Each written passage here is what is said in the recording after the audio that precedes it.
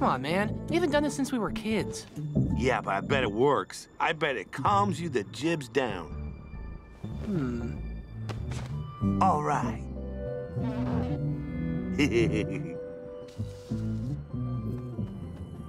yes, sir. I sure like cutting hair. Uh, Mr. Mertens, I know I'm just a humble scissor jockey, but you've been coming in my shop for almost 20 years.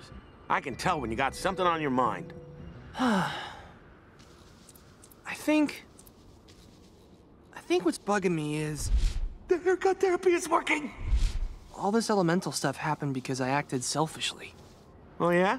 It's like I'm employee of the month at an ice cream store, and I get someone to cover my shift, and when I come back, the place is burned to the ground, and everyone I love is doomed. And now we're up here and we can't do anything to help. Did I secretly want that to happen? Like, deep down inside, was I afraid Fern would be better than me? And my lizard brain put out bad vibes? I guess the worst part of all is... All right, you're all done, Mr. Mertens. How's it look? Jake, I was talking about important stuff.